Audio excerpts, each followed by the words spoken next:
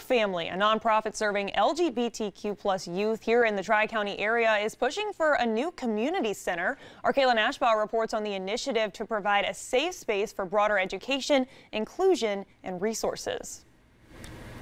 We Are Family, to me, is really just a space where we could give that to other people who need it, other youth.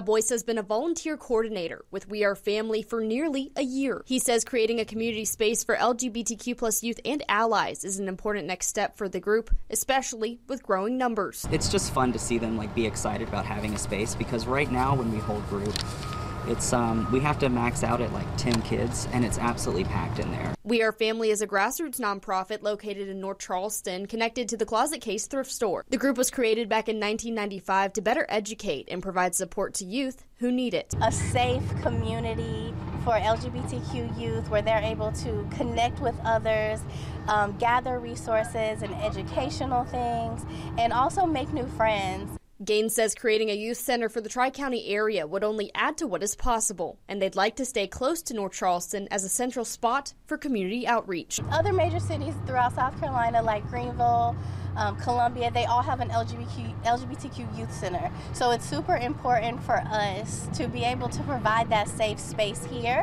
The group currently offers 12 life affirming programs to community members up to the age of 24. Those resources fall under three different umbrellas youth development and social support, community advocacy, and health and wellness. For more information on the organization and its ongoing initiatives, you can head to live5news.com. In North Charleston, Caitlin Ashbaugh, Live 5 News.